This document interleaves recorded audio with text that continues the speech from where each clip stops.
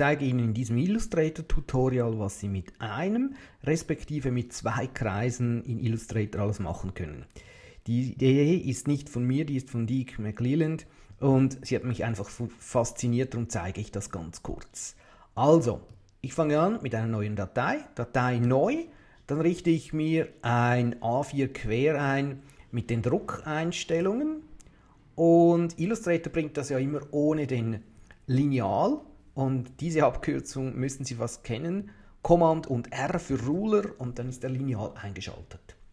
So, jetzt mache ich als erstes mit dem Ellipsenwerkzeug einen Kreis.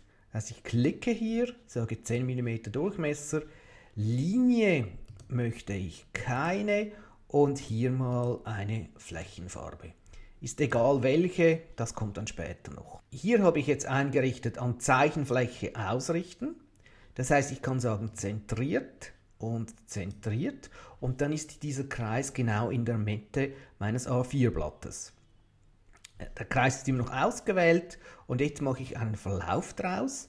Ich mache nicht einen linearen, sondern einen kreisförmigen Verlauf.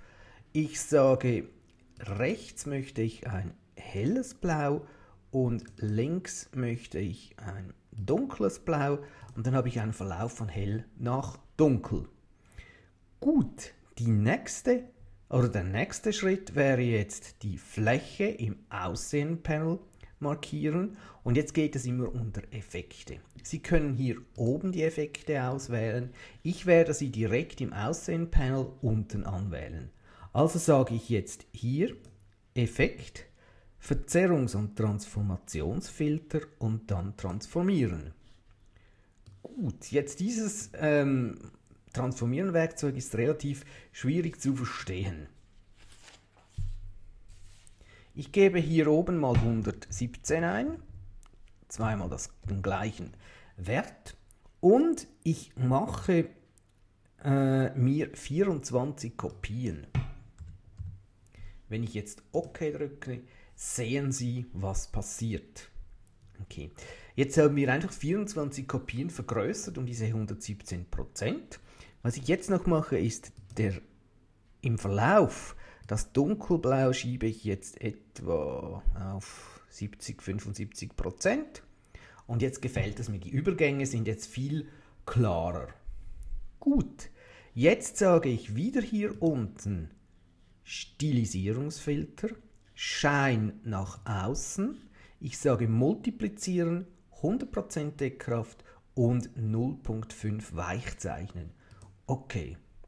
Jetzt werden Sie nicht sehr viel dann sehen. Und warum ist das so? Dieser, dieser Effekt, den ich jetzt gemacht habe, den muss ich hier nach oben schieben. Und dann werden Sie sehen, ist das Ganze viel äh, intensiver. Wenn Sie jetzt genau sehen, sehen Sie hier so äh, Strukturen, die es gibt. Jetzt gehe ich in die Effekte, Dokumentrastereinstellungen und bin ganz brutal und sage hier, ich möchte andere 1200. Okay, dann werden diese Übergänge sehr, sehr fein. Wir gehen wieder ins Aussehen-Panel. Ich wähle alles an, also den Namen, das ist am einfachsten. Und dann sage ich wieder Effekt, Verzerrungs- und Transformationsfilter und dann zusammenziehen und aufblasen. Hier in der Regel ist das 0. Jetzt können Sie 30 eingeben oder hier hinklicken und mit gedrückter Shift-Taste und Pfeil nach oben dreimal klicken. Okay. Und jetzt hat das schon ganz eine andere Form. Im nächsten Video gehen wir dann einen Schritt weiter.